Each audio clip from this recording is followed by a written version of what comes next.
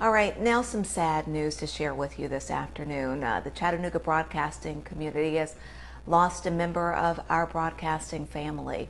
WDEF's John Mercer passed away last night after a heart related medical emergency not related to COVID 19. He died in a local hospital where he was being treated in the intensive care unit. John was on the air with WDEF for 17 years. Prior to moving to Chattanooga, John was the main anchor for KTVN, which is owned by Sarkes Tarzian Incorporated. That's the same company that owns WRCB Channel 3.